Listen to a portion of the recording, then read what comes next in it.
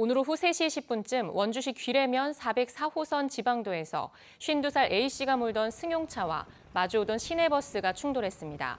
이 사고로 크게 다친 A씨가 그 자리에서 숨졌고 버스에 있던 승객 3명과 운전기사가 다쳐 119 구급대에 의해 병원으로 옮겨졌습니다. 경찰은 버스 운전기사 등을 상대로 정확한 사고 원인을 조사하고 있습니다.